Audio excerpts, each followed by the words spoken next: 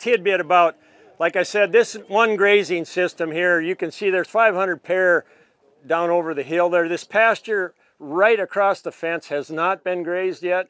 We kept that. We're going to be branding this weekend. Usually that would have been done, but in 100 degree weather, we had to keep pushing it off. So we're hoping we can get it done this weekend. This was, uh, it's got about 60 days rest on, had these 500 pair in here for about three days or so. These paddocks are 80 acres, which is our last split. I always tell folks, you know, find what works for you and then, and as you move into this, then you'll find, you know, if you want to get a little more uh, intensive or, uh, you know, downsize a little more. And that's kind of what we did. I told Allan, we started out after his grazing school way back in the 80s. This was one great big pasture and we just split it twice and moved those cattle twice during the year and I liked what I saw and then we split it a little more and we split a little more. So um, this had, be, when I was a kid, this was season-long grazing that, and it had been a bit abused because this was a pasture we used after, when we branded and after we branded. And the diversity had really narrowed. You saw a lot of blue grama grass.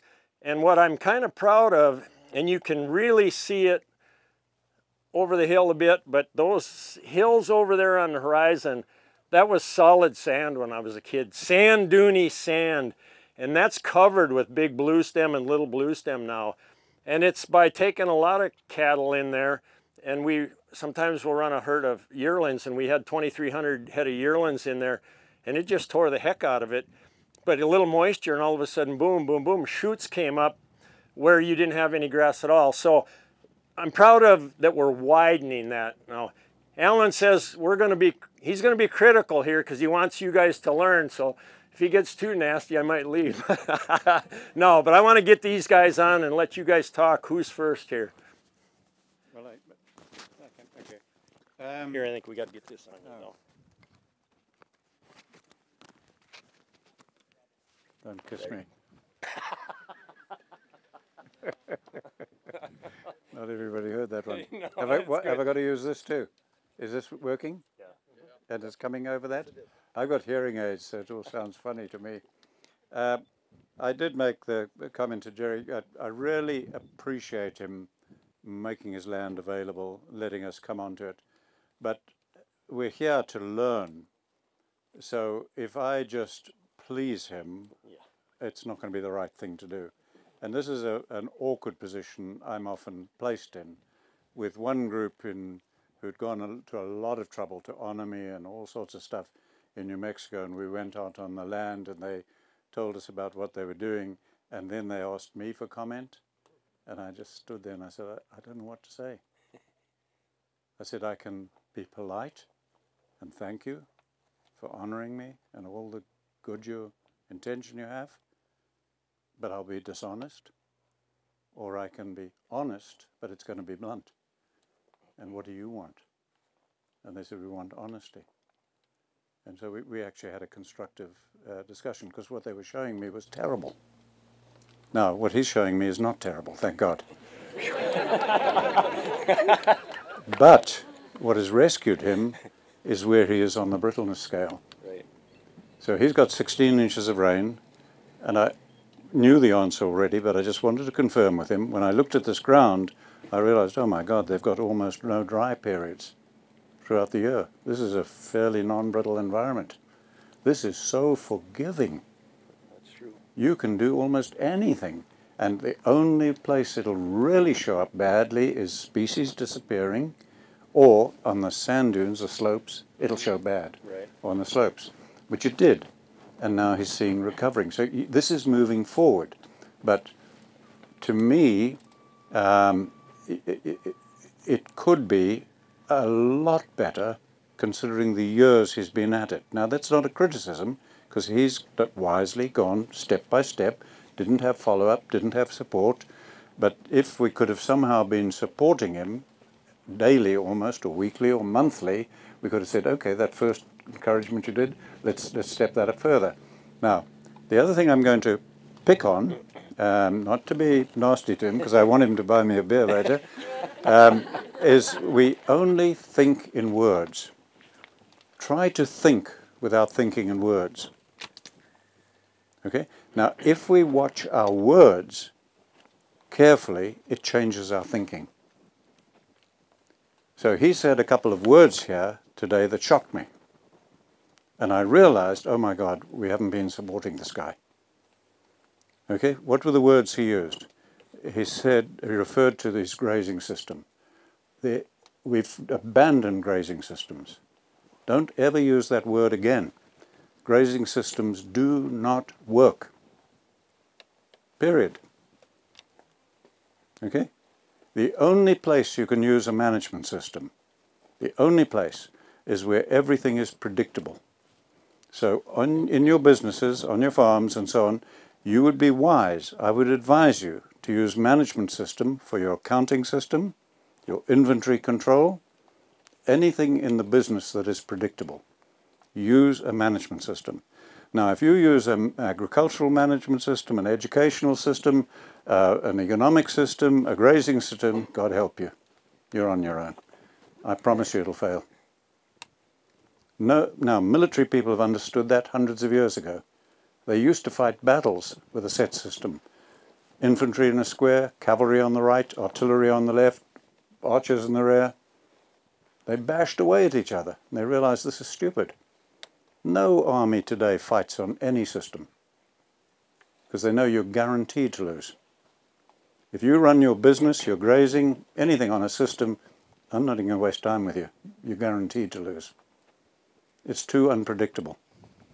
Okay, so try to get to talking about planned grazing and then you will begin to plan grazing.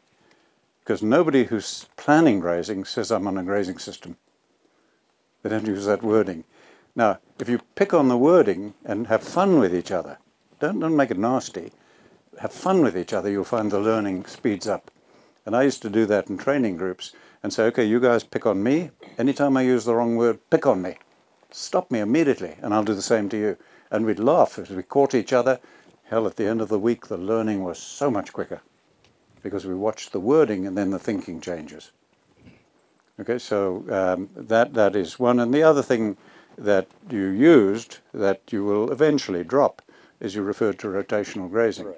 You, you see, don't do rotational grazing. Lots of people are.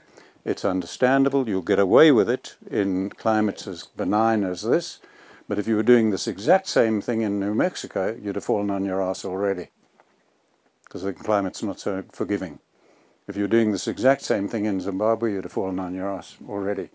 Okay, so you don't have to reinvent the wheel. Just read the original. Read Voisin. That's my my wife and I got his book republished so that you could all read it. You can get it from Island Press.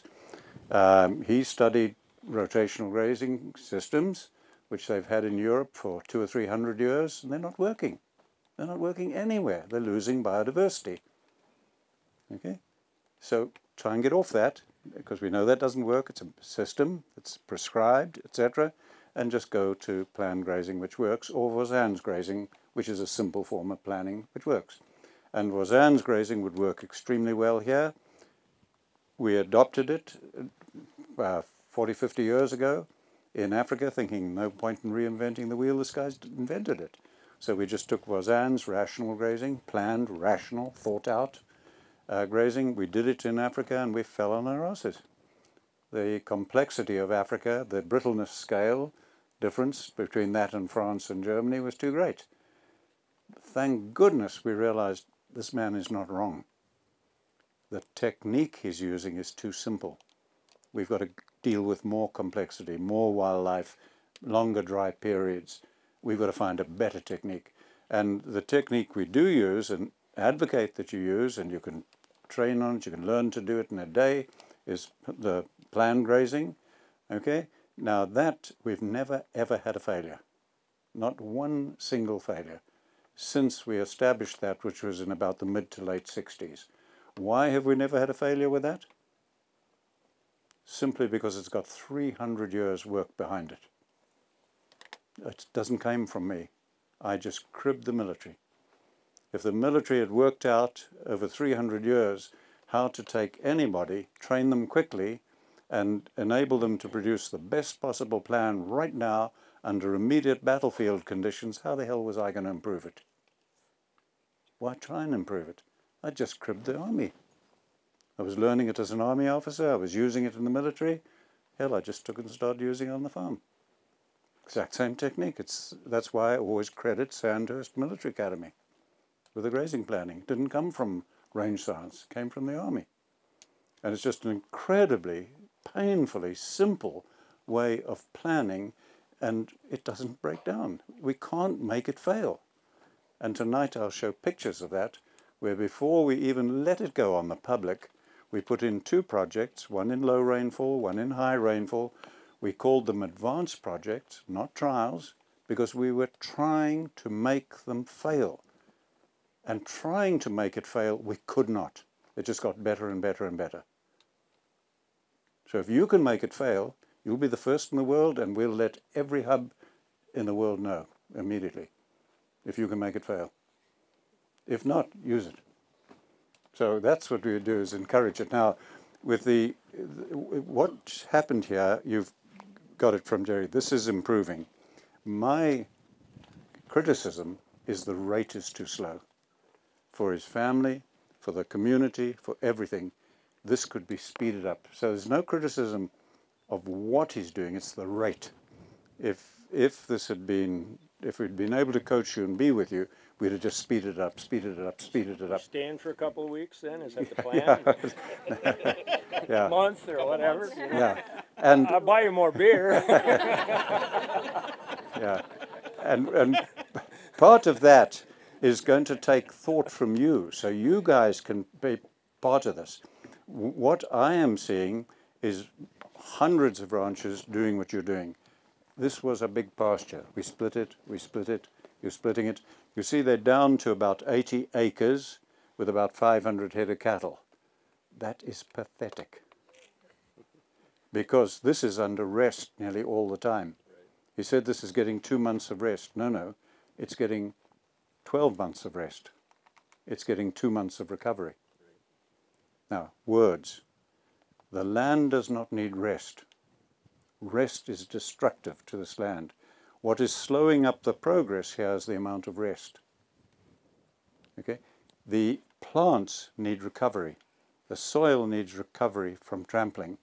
So what you're actually doing, without realizing it, is you're practicing rotating partial and total rest.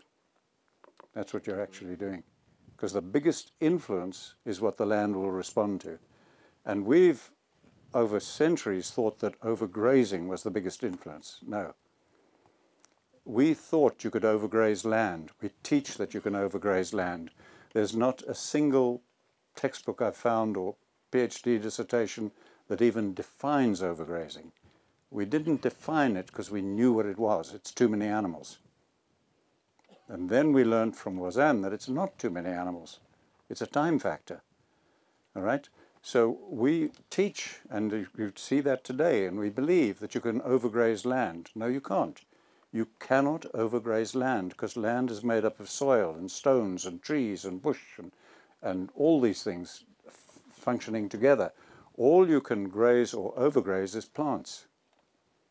So you have stopped overgrazing plants. You see, with the simple planning, the rotation you've done, I don't see any overgrazed plants. That's great. So what's happening is when the cattle are coming into this, they're not overgrazing plants, they're grazing plants. That's healthy. When they get in this paddock, it's the two influences are grazing of plants and partial rest of the land. Because his animals are not excited. They will bunch here and there, and when you put the bigger herd together, there they right. bunched more. Right. You got a bigger result, right. And you saw it. Yeah. And that's what you've got to keep building on. Okay, so when the animals are out of this paddock, what's happening? Total rest. So really, because rest is the biggest influence, you've got a rotation of partial and total rest. Now, I wouldn't know these things, I wouldn't understand these things if I wasn't being given the privilege and the opportunity to be on hundreds of ranches, seeing what you're doing, knowing how long you've done it, etc., and then also living on a property where we're doing the same thing as you're doing, but we're doing it with many elephants and buffalo and lions and giraffe and sable and everything else. And in making our decisions holistically, we could not use fencing. So our stock density is far lower than yours. Our density is like it used to be in North America, very low. When you had millions of bison here, the stock density was incredibly low because the paddock was the whole of the United States.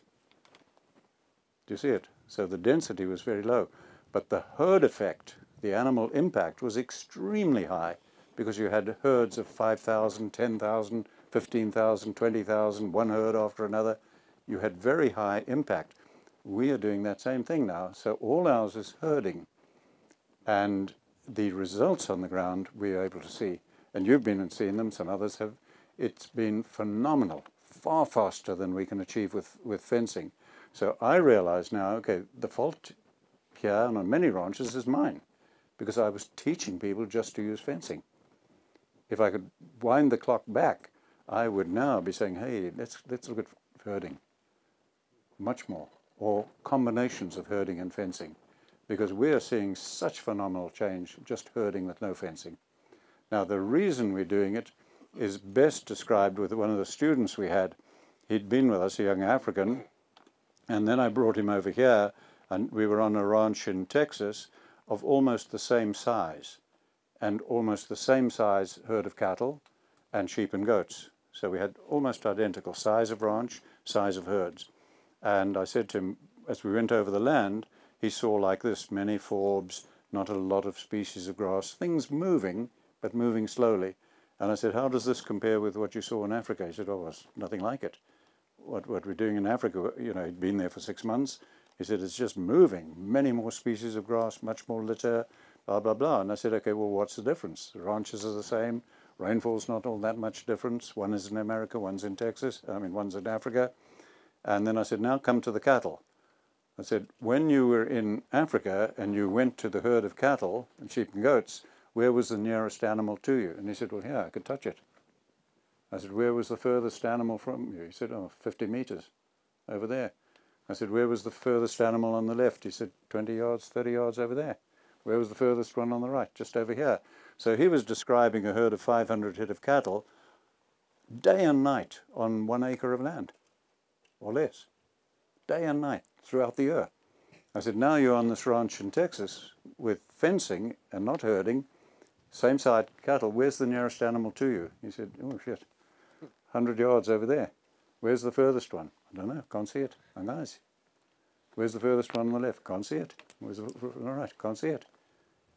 They're just day and night spread. And that, that physical impact, the hooves of the animal, is the main thing giving us the recovery.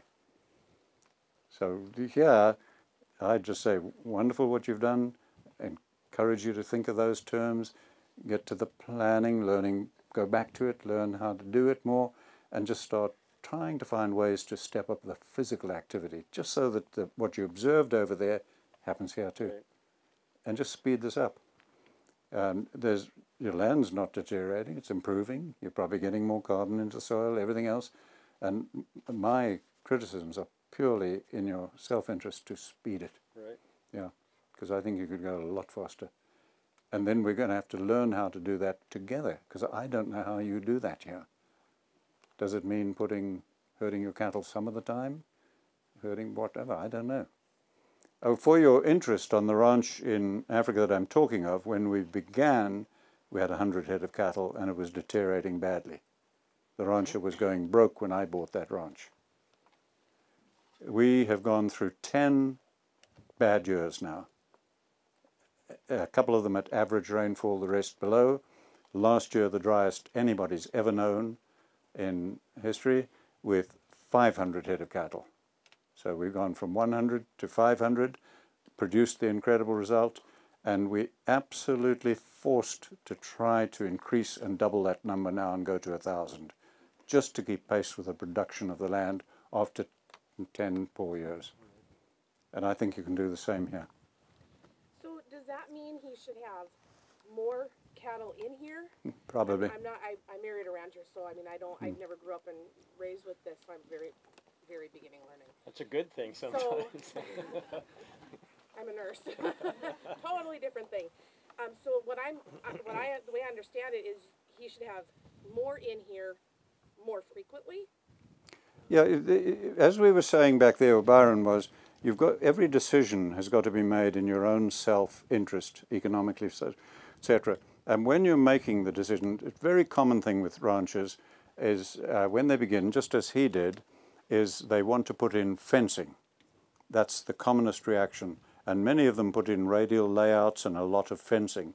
Even though I said don't do that, uh, many did it. What most ranchers need to do is first start increasing the cattle.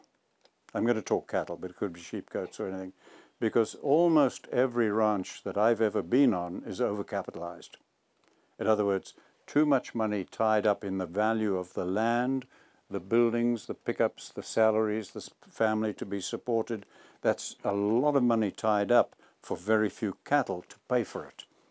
So it's overcapitalized. And they get pushed by extension services and anywhere, everyone to improve the cattle performance, produce the cattle production, etc. No, because you're doing that with more costs, although they're variable costs. And if you just take the stocking rate, the number of cattle, and double it, it changes the economic picture completely, even if your cattle performance is poorer.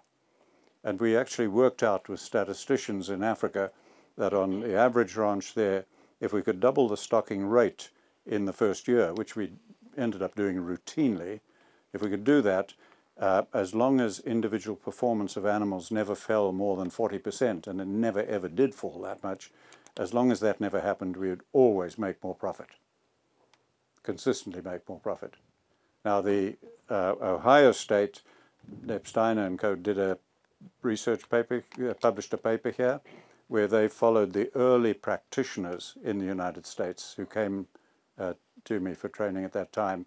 And those early practitioners averaged 300% more profit. And at that time, suicide was the leading cause of death, and 600,000 families went broke over that same time period. Yeah, so it makes a big difference. And one of the big differences there is as you begin is the importance of looking at the chain of production. So on any business, but particularly in agriculture, you've got sun coming to plants, it's got to be converted to a product, it's got to be marketed, and then you've got a dollar. And if you look at any average ranch that is overcapitalized, you shouldn't put money into the link that is not the weakest. And if you put money into the fencing, it means you're trying to increase the amount of grass grown. Really, you're trying to increase that production of that link of the chain, whereas what you're needing is just more cattle. And so, normally, uh, we would try, and what certainly with what we know today, to get the people just to start jump, lumping their cattle, going to fewer herds, plan the grazing, even if you only got four or five paddocks, doesn't matter. Start with what you've got, but start getting the cattle numbers up so that you can deal with the overcapitalization. And then as you generate the money, you put in the fencing. And ideally, um, you, you shouldn't put in the developments like fencing and water and things until they are earning money. If you're putting them in when they're costing money, you're doing the wrong thing. So that's the financial planning that we try to teach people to think like that. And it's very critical. Uh, one way I try to get farmers here to think about it is I just say, what did it cost to develop America? You know, if we thought like farmers do today, nobody would have sent anybody from Europe over here. They couldn't afford it to develop this country. This is the wealthiest country that's ever existed, and it was developed by Americans with creativity and raw resources. If they thought like you do today, nobody would have come here. Couldn't afford it.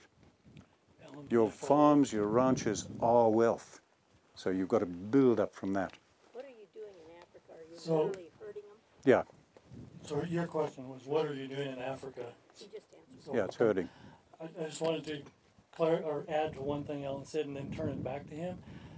Uh, with his military planning procedure that he took, one point that we can add to that was what the military did over 300 years there in, in Britain.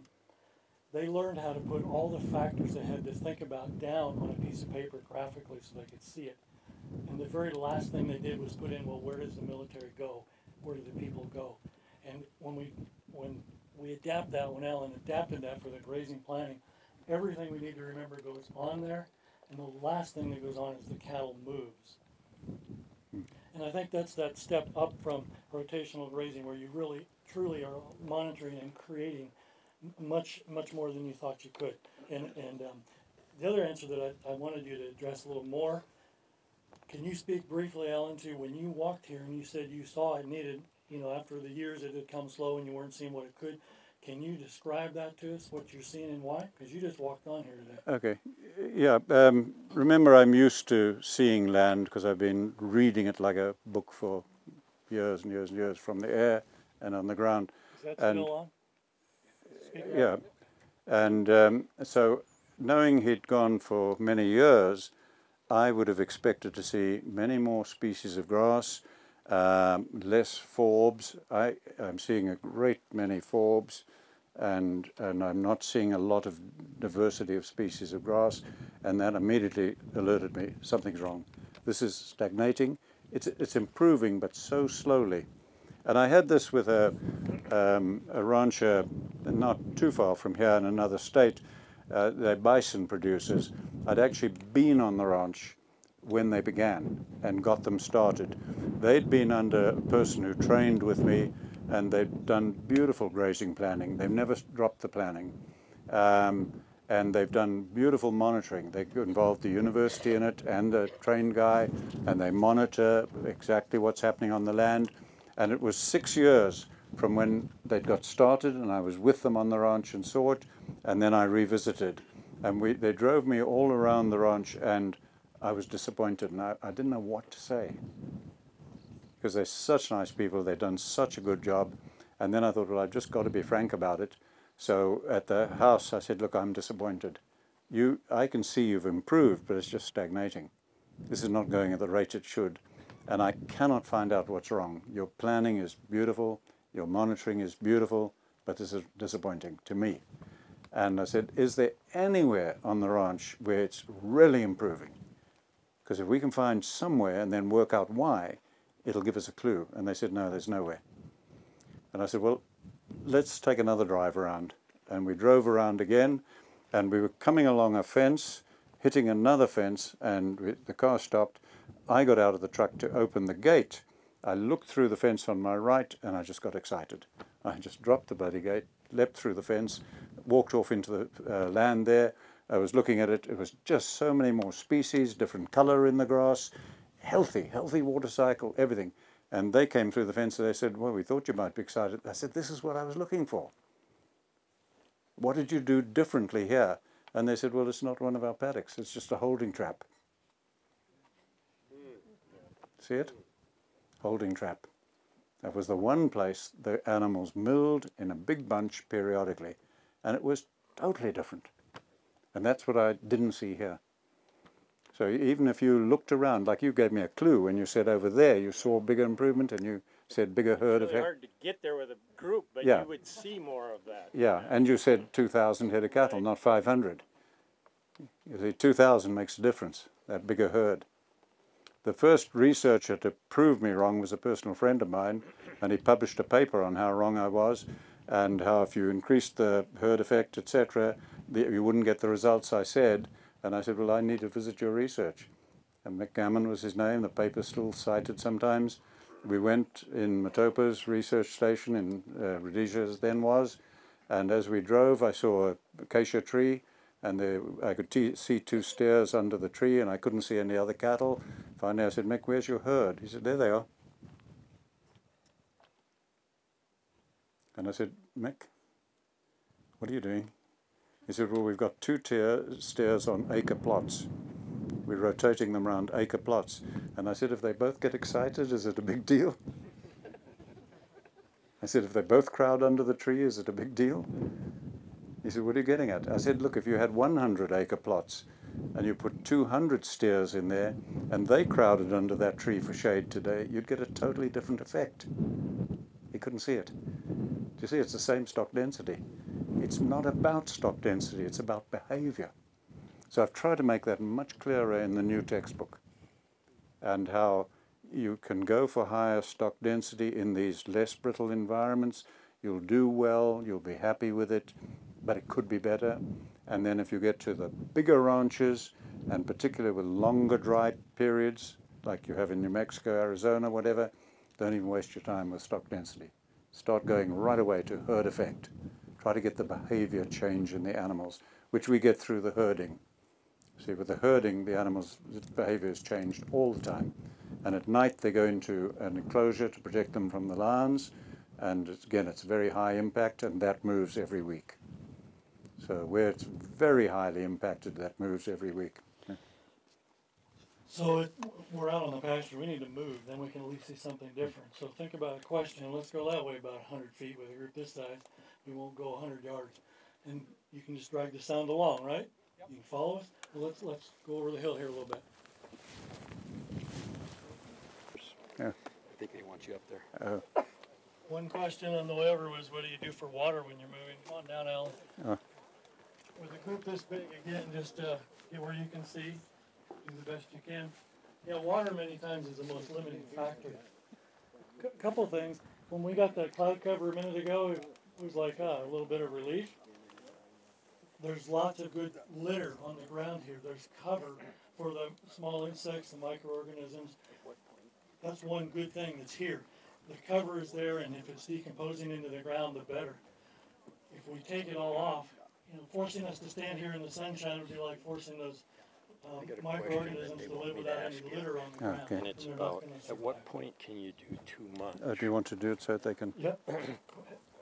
Tell him. A, a question just came to me, and I wanted Allan to respond to it because, and I think all of us struggle with this. Okay, we're going to put more numbers or more impact on this. At what point do you know that you you've you went too far? I mean, there's some point there, and can you respond to that a bit? Yeah.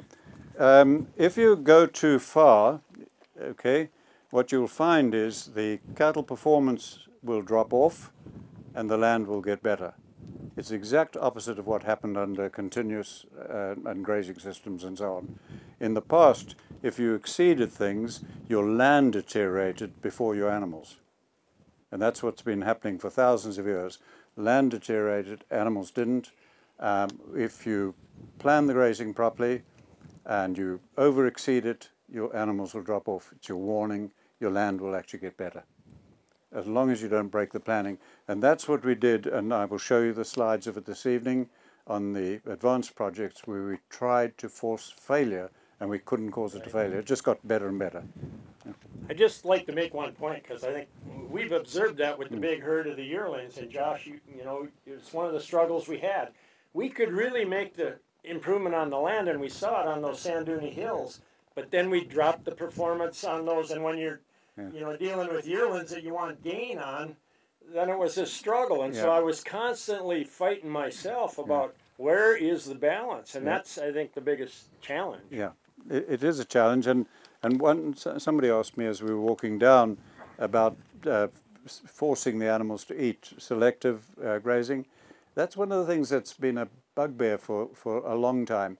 In the early days, in the late uh, early '60s, when we were desperately trying to sort this out and work out how to use cattle, a botanist in South Africa, John Acocks, did some wonderful work. He gave us part of the clues to this.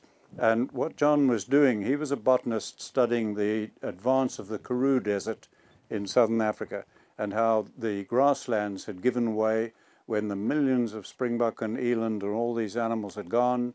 Uh, the springs started to dry up, the grassland gave way to desert. And he developed a solution to that, he believed, which was non selective grazing. And he believed that if you just divided the land up into 16 divisions, stocked it very highly, each one, and grazed until the plants were evenly grazed and moved on, everything would recover because he reasoned that the plants had disappeared because of selective grazing. Now that was logical, it made sense, it fitted observations, and um, I went down and visited John, spent time with him, looked at ranches he was working with, and uh, I was excited about it. And then, much like I mentioned just now with the, the ranch, I visited the Howells, Len and Denise Howell, who were practicing that with a lot of sheep in the, in the Cape. And when we went around, I was disappointed in what I was seeing on the land. And once more, I got excited when I saw one corner where it was very different.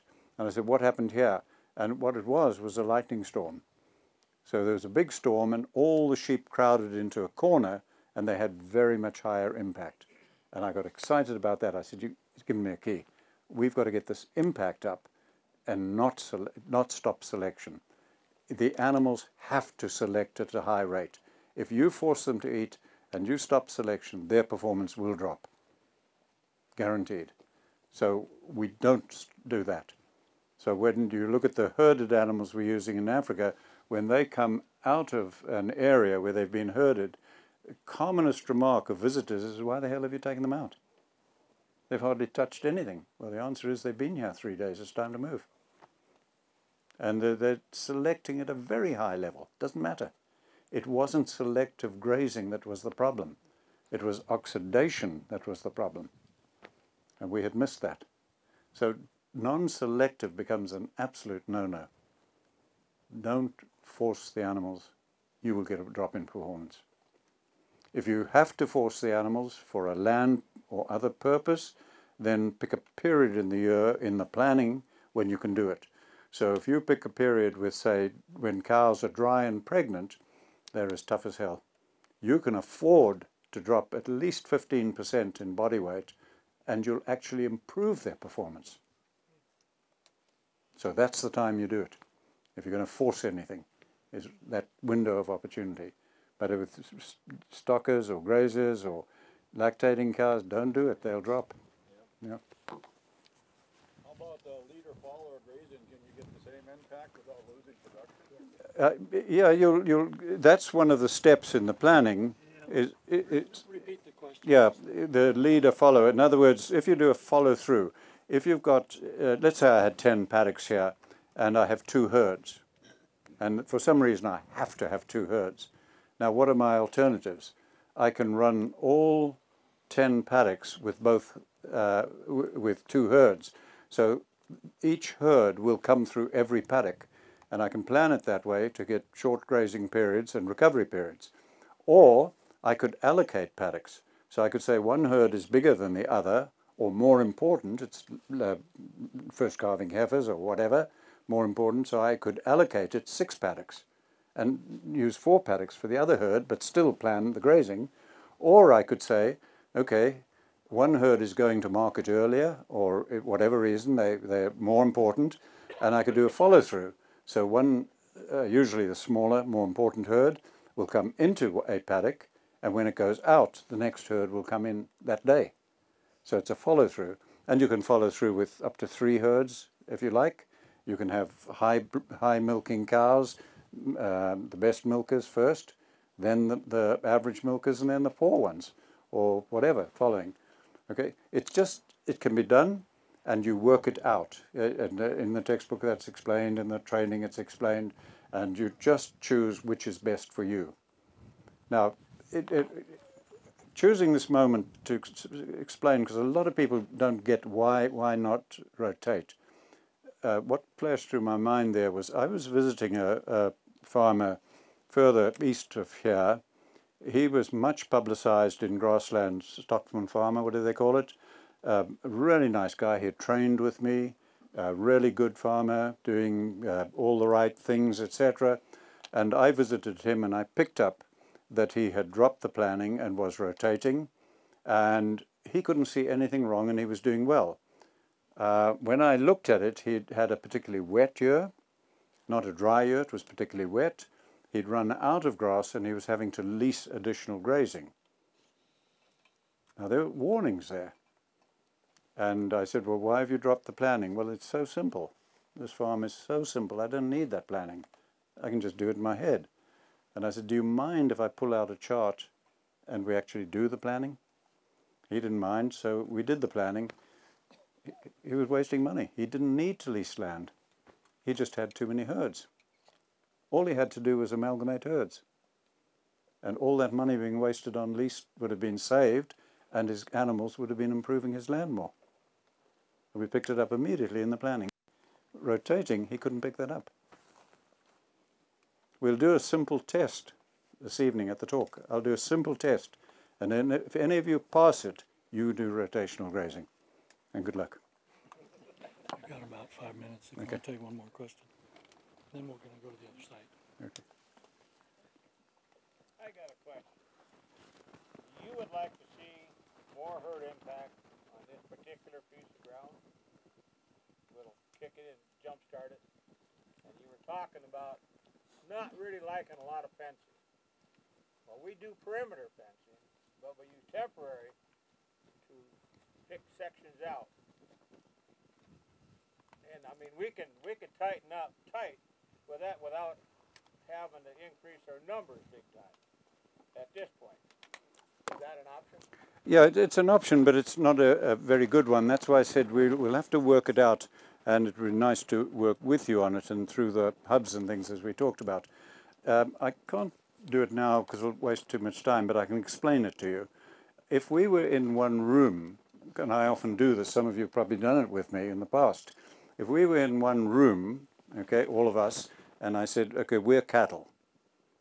What's the stocking rate? and it would be the number of cattle in this room. What's the stock density? Be the same, number of cattle in this room. And then I would say to you, okay, all of you crowd up into half the room, and I actually crowd you, despite the desks or everything else, into half the room. And I say, now what's the stocking rate? No, it's exactly the same. What's the stock density? It's now double. And they'd all agree with that. And I'd say, now crowd into quarter of the room. And I'd cut, crowd them into quarter of the room. And I'd say, now what's the stocking rate? It's the same. What's the stock density? It's doubled again. And I'd say, now go into an eighth of the room. And I'd crowd them in and ask the same question. And then I'd do it again. And I'd keep doing that. And I would stop the moment the noise level arose. Because all throughout that it'd be quiet. And at sudden point, everybody's voice goes up. People start laughing, joking, and you've reached the point where their behavior changes. Okay? And you have to go to a high level. To get that behavior change, you have to use too much fencing. That's why, uh, again, I've tried to make it very clear in the new book. Do it if you're on a small farm, low brittleness environment, pasture, something like that. If you're on a big ranch, big tracts of land, don't waste your time. Start looking at other ways. Now, other ways that we're developing are the herding, uh, putting dogs periodically. If you just have dog, a man with a horse and a couple of dogs for part of the day, just, just bunching the animals, just simulate the wolf, just getting them crowd somewhere, attractants, just finding ways to get them bunching, excited, moving. Yeah. Is your water portable or something like that, where you move it to an area so they stock dense higher? Well, So the it question was, was, is the water portable sometimes to get that stock density higher? Yeah, many times, and a lot of creativity there. For, for the sake of time, Jay says we need to start to head to the other. Before you move to, for just a minute, before we go to the other site, what Allan's really f- referring to is when he looks at the land, like, I just dropped it there, but I, s- you know, I'm seeing some lichen or some moss covering ground. I might like to have a plant in there and have more density. The land is telling him it has more potential than is being used, and how to then improve that. But keep in mind, it's got to fit the holistic context of the people involved. That family might say, we are just fine financially, we're just fine socially, we're just fine with our workload.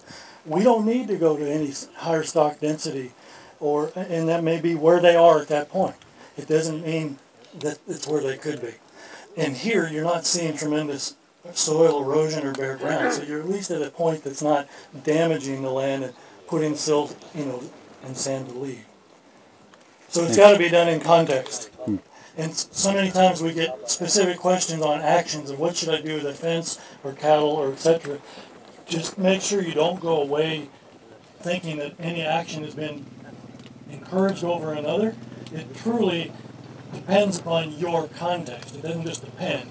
It depends upon your context, what you're trying to do, where it fits for your financial. Okay, Jay, anything to say? How, how we go? Here you go, Daryl. I think we're gonna end up taking off here, uh, unless anyone has a real pressing question or anything for Allan, and Byron. Uh, we want to hit to the cover crop site. It's going to take us a little while to get there. Yeah, let's go, we'll answer over there. We can you can answer the questions over there as well. So uh, let's give Jerry and Byron and, and Allan a hand. Uh, very very informational stuff. Allan, you want to say something? Well, thank you. I'll, I I will skip off now to take a break, otherwise I turn into a pumpkin or whatever it is, uh, because I'll see some of you tonight, or most of you tonight, and we'll go through some of this again. Yeah. Sounds good. Thank you.